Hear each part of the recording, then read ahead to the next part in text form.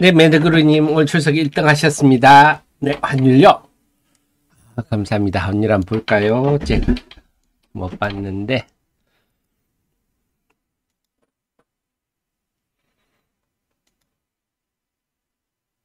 음. 별 움직임 없는데요.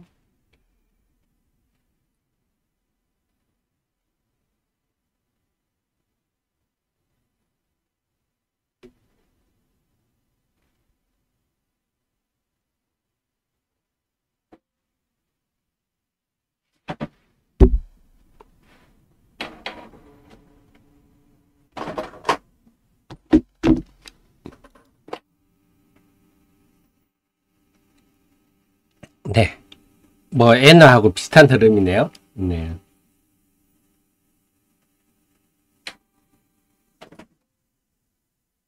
네. 네, 지금 일본 엔화가 수요일 날 이랬는데,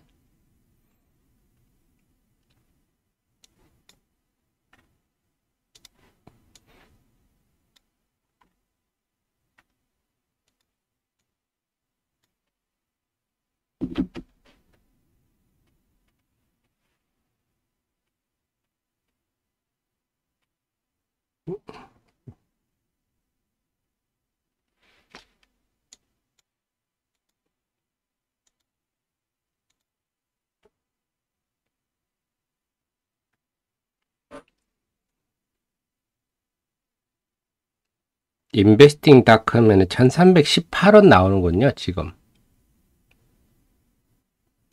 1318원 요 정도 나오는군요. 네. 한번 살펴보시기, 한번 살펴보겠습니다. 저도 계속.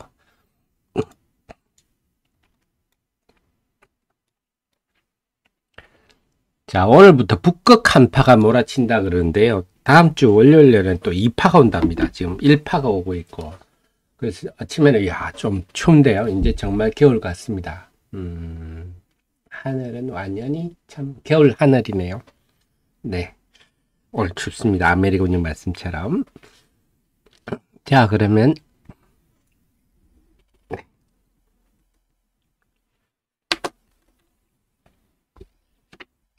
네, 8시 35분입니다. 하태민 경제TV. 오늘은 11월 24일 금요일 개장 방송 시작하겠습니다. 개장 전 방송 시작하겠습니다. 여러분을 가장 사랑하는 방송. 여러분께 도움되고자 애쓰는 방송입니다. 개인 투자자들의 리서치 센터. 증권사는 증권사 리서치 센터가 있지만, 음, 그보다 더 자세하고 손쉽게 알려드리는 리서치 센터입니다. 어제는 미국 시장의 휴장입니다. 그래서 Thanksgiving Day 11월 넷째 주 목요일은 항상 Thanksgiving Day라 그럽니다. 그래서 오늘도 미국 시장은 오후 1시까지 반장만 열린다고 하는데요. 그 반장 왜 여나 모르겠어요. 그래서 미국은 지금 연휴 분위기다 한 점입니다. 그래서 어제 미국 시장이 없었기 때문에 오늘은 우리 시장만 움직여야 되는데 자 오늘 제 daily 보셨겠지만 오늘 전망은 제가 좀 어둡게 전망하고 있습니다. 그 이유가 자 우선 신규 상장주 부담인데 어 맞나요 이게 제 daily가 맞나요? 어허 어, 제가 이런 실수를 했습니까? 아하 잠깐만요. 오호 제가 이런 실수를 했나요? 저 정신 나갔나요? 요즘 제가 좀 몸이 안 좋아가지고 아 죄송합니다. 아 이런 음 제가 지금 연이틀 좀 뭐랄까 몸이 무거워서 잠을 좀 일찌감치 많이 잤는데 오늘은 조금 가볍습니다만 음 죄송합니다. 이런 큰 실수를 했네요.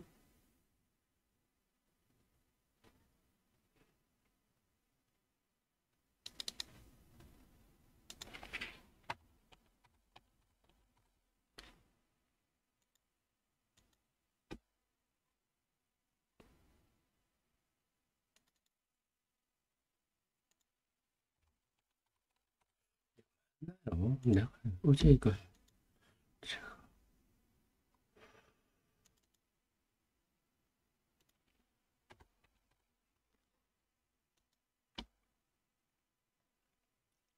좀 이해가 안 가는데요. 죄송합니다.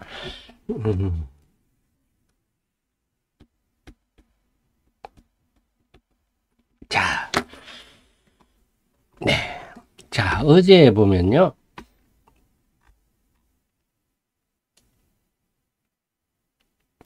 이건 밑에 넣었는데, 참.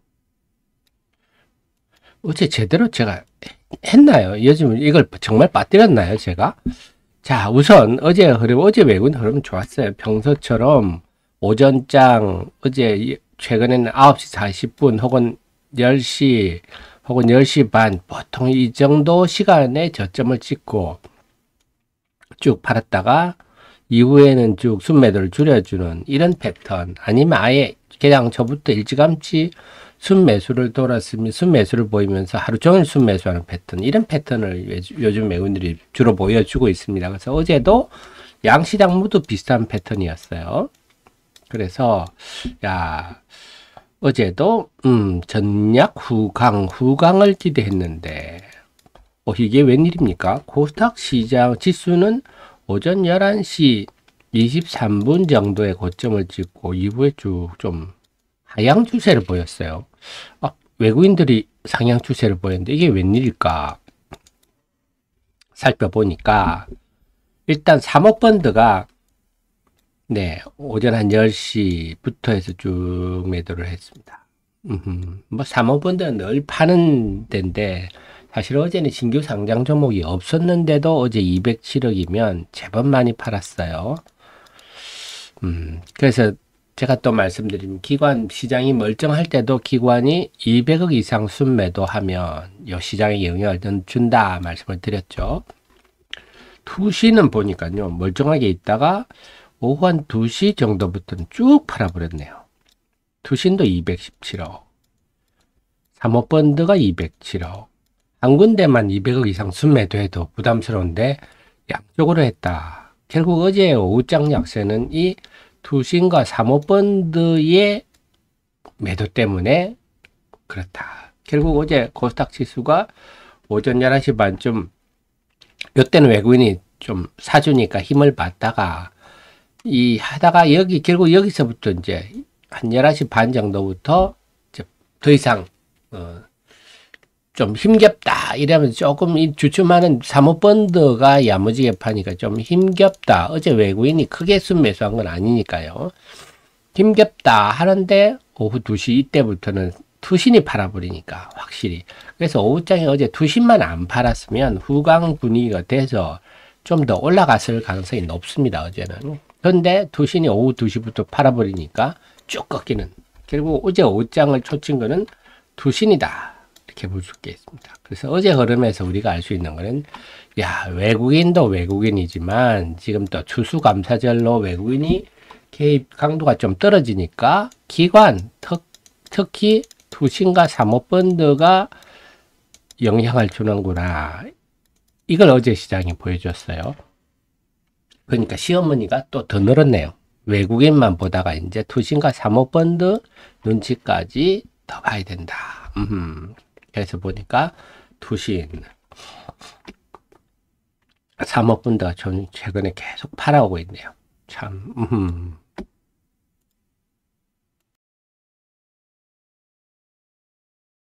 그렇습니다. 아하. 이건 이제 투신과 사모펀드도 이제 신경 써야 되겠다. 외국인도 신경 쓰고. 어제 결국 외국인들은 소폭 순매수로 끝났어요. 그러니까 외국인이 순매수로 끝났지만 투신과 사모펀드가 어제 확인된 거는 그래도 지수는 외국인의 움직임과 정확히 일치한다. 그래서 외국인이 보면 지수가 보인다. 이렇게 말할 수 있습니다. 정확히 일치하는데 외국인이 그래도 순매수가 좀 적을 때 적을 때는 투신과 사모펀드의 매도가 지수에 영향을 주더라. 그래서 외국인의 순매수가 적었던 11월 21일과 11월 23일의 경우는 투신과 사모펀드가 야무지게 팔면서 코스닥 지수가 상승폭이 줄어들더라. 결국은 영향을 기관이 영향을 주는구나 확인이 됐습니다. 그러면 오늘 어떠냐? 아 이런 상황인데 오늘 부담되네요. 왜 오늘 코스닥의 한선 엔지니어링, 그린 리소스 두 종목이 상장이 되는데 아, 주가는 그렇게 높지는 않지만 어쨌거나 이 두 종목 때문에 개장 초반에 상업펀드는 개장 초반부터 큰 폭순 매도가 나오겠죠. 당연히 투신도 나올 겁니다. 사모펀드만큼은 아니라. 그럼 개장 초반부터 이들이 큰 폭순 매도가 나올 건데, 아, 이거 부담스럽네요. 음.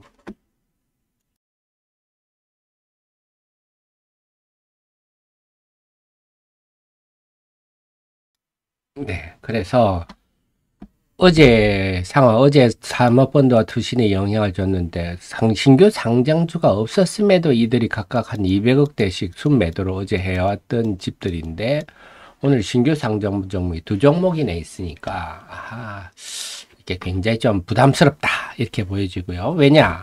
이달 들어서 신규 상장 종목이 두 종목 11월 9일 날새 종목이었고요.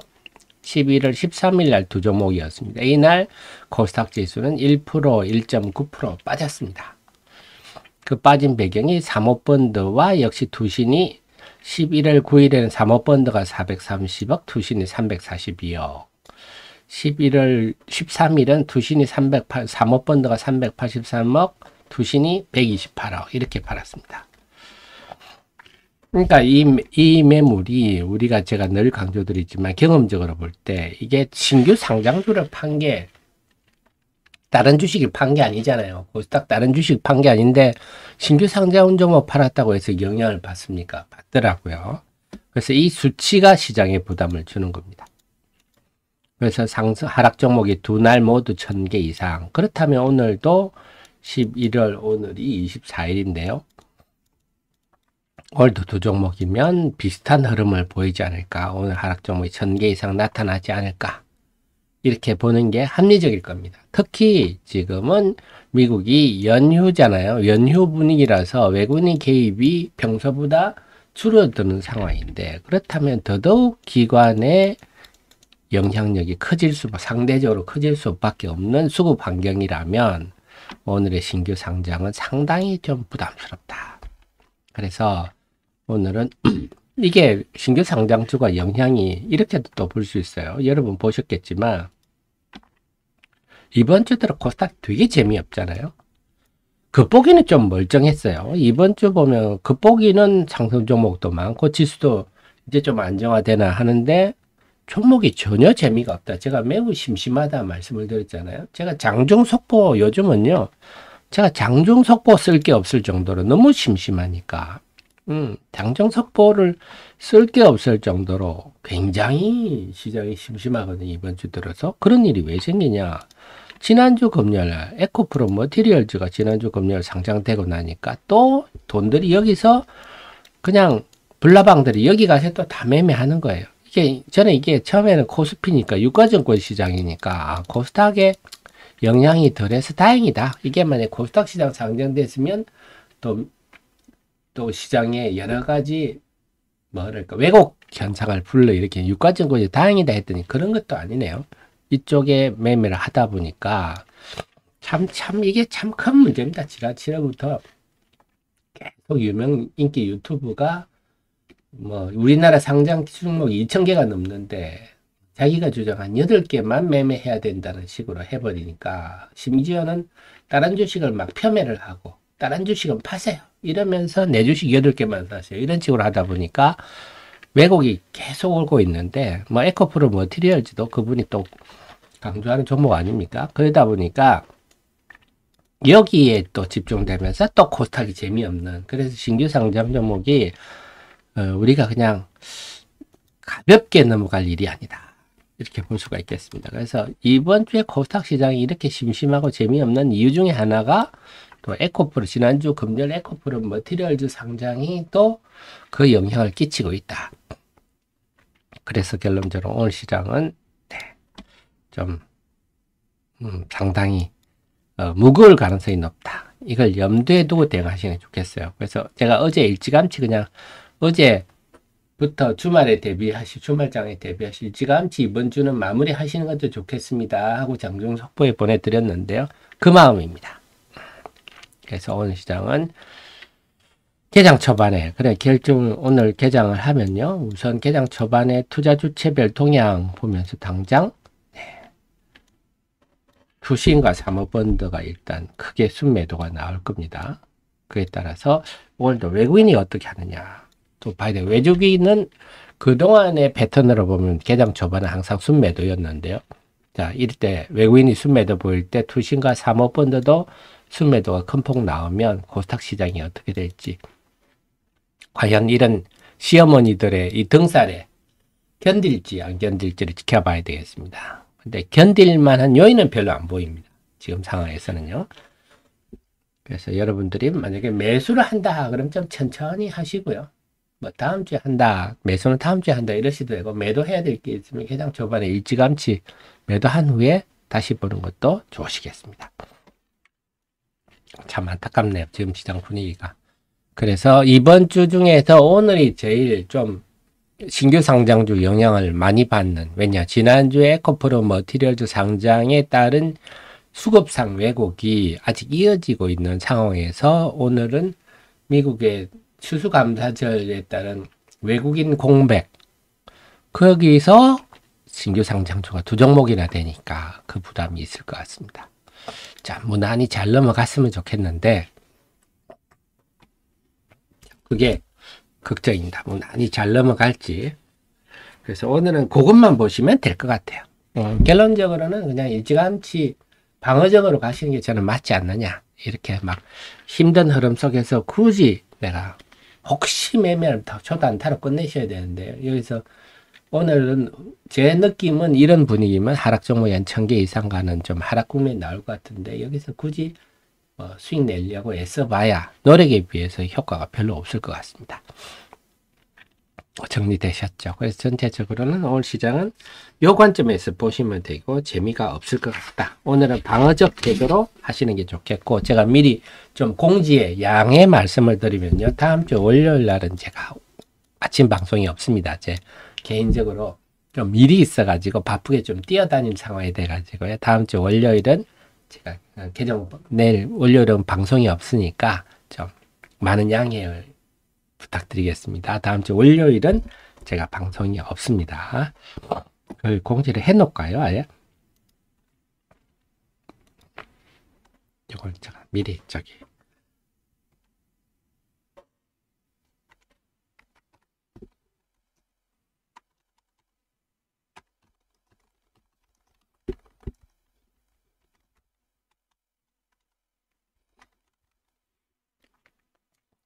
이걸 갖다가 여기다 해놓고 해야 되겠습니다. 좀 이해를 부탁드리겠습니다. 네, 이청덕심님, 맨너구리님 다들 참 우리 우리 제 방송을 함께 하시는 여러분들이 참 대단한 어, 고급 투자자십니다. 환율까지 보셨는데요. 저도 환율에 대해서는 딱히 잡히는 게 없는데 여러분들 환율에 관한 좀 계속 소식 있으시면 좀 계속 공유를 하시죠.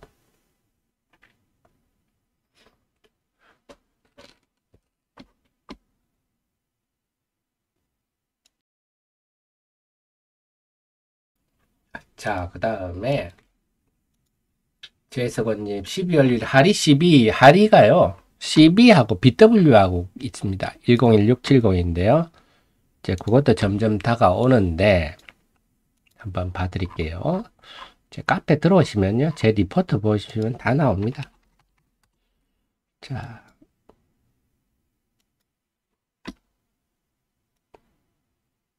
네, 요거죠. 여기 12월, 11월 29일부터는 BW가 행사가 가능하고요. 12월 1일부터는 CB가 행사가 가능해집니다. 그리고 이 둘 다 모두 풋옵션은 없어요. 그래서 뭐 풋옵션이란 게 우리 사채권자가 회사에 야, 돈 내주세요 이렇게 할 수 있는 권리는 없습니다. 그래서 뭐 풋옵션 가능성 없고 주식으로 전환하느냐 아니면 만기까지 들고 가느냐 두 개밖에 둘 중에 하나밖에 없는데요. 어쨌거나 여기에 그동안 주가의 주식을 억누르는 굉장히 굉장히 큰 힘, 뭐랄까 오버행 이슈가 됐죠. 한 3천만 주 되니까 때 뭐 딱 뭐 예전에는 한창일 때는 하루에도 2천만 주씩 거래됐으니까 꼭 저게 꼭 부담스럽다 이런 거 아닌데 문제는 지금 전웅 대표가 초 초짜 CEO라서 그런지 원래 성향이 그래서 그런지 시장과 너무 소통을 안 하니까 저도 좀 빡치네요. 주주들은 태도도 너무 마음에 들지도 않고 기업이 기술력만 있는 걸로 되는 게 아닌데 마케팅, 파이낸싱이 같이 겹쳐져야 되는데 업계에 들리는 얘기는 너무 고압적으로 한다. 어, 니들이 아쉬우면 날 찾아오겠지. 어, 초고순도 수산화 리튬 니들이 구할 수 있으면 구해봐. 아쉬우면 나한테 오겠지. 뭐 이런 분위기라고 하니까 참 안타깝네. 조금만 영업 마인드를 가지면 주주들한테 굉장히 큰 도움이 될 것 같은데 너무 주, 주주들한테 대화도 고압적이고 제가 계속 회사에 좀 인터뷰 한번 합시다. 전웅 대표가 바쁘시면 밑에 정소라 박사라도 좀 하자 해 주십시오 했는데 뭐 무무부답입니다.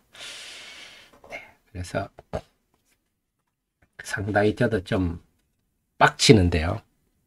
주주들에 대해서 참 초, 초보 CEO라서 그런가 좋게 한번 생각하면 그렇게 봐줄 수도 있는데 근데 지금 12BW가 있으니까 이때는 정말 사채권자들하고 소통이 필요하거든요. 긴밀한 소통을 해서 해야 되는데 참 답답합니다. 음, 주주 입장에서 참 답답하네요. 근데 보면 뭐 이 박사람 분들이 뭐 그런 얘기 많이 해요. 박사람 분들이 다 자존감이 높아서 물론 뭐 저래가 스티브 잡스 이런 사람도 성질은 참 더럽다 그랬죠. 그래도 뭐 일만 잘해주면 다행이긴 한데 아, 참 지금 영업적 마인드가 참 안타깝습니다. 어쨌거나 지금의 음, 하이드로 리튬은 12BW가 이달 말로 다가오고 있습니다. 그 어떨지 그게 어떤 영향을 미칠지 그때 과연 회사는 어떤 태도를 보일지 네. 맥켈라님 그죠? 그래서 저도 그분한테 부정적입니다. 뭐 우리 우리가 인생을 살아봐서 알지 않습니까? 우리 같다는 마녀 정도 세대가 되면 아이고 인생 굳이 내가 뭐 남을 적으로 만들고 아니면 나쁘게 얘기할 필요가 없는데 네 합리적 근거도 없이 뭐 문인만 뭐 2차 전지주라든지 말 같지 않은 자기가 말하는 자기가 말하는 금양음은 맨날 적자 아닙니까? 발포조 회사 그게 뭐가 있습니까? 그래 놓고 350만 주나 되는 물량을 관계사들이 다 팔아먹고 말이죠. 그래 놓고 말이죠.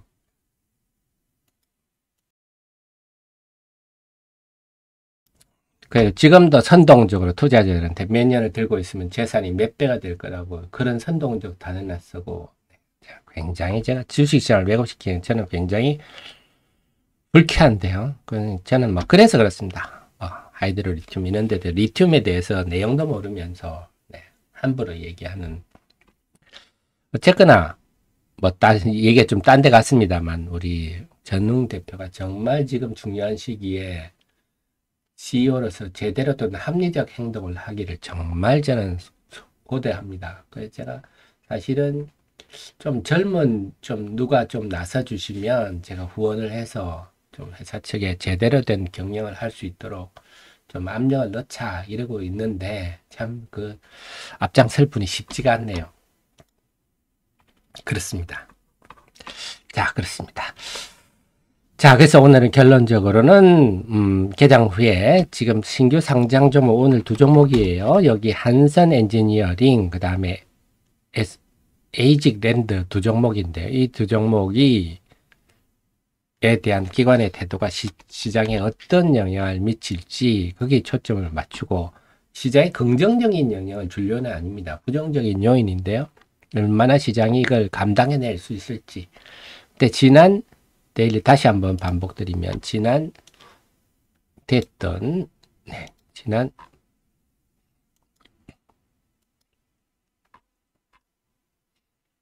19일과 13일에는 네, 코스닥 시장이 다1% 이상 야무지게 하락했고 하락 종목도 1000개가 넘었다 하는 점입니다. 그래서 오늘도 수신과 사모펀드의 순매도는 뭐 당연한 일인데 신규 상장 주 매도 때문에 과연 시장이 어느 정도 영향을 받을지. 근데 9일이나 13일보다 지금이 조금 더 나쁜 것 같아요. 왜냐하면 외국인들이 지금 평소보다는 개입을 덜 하기 때문에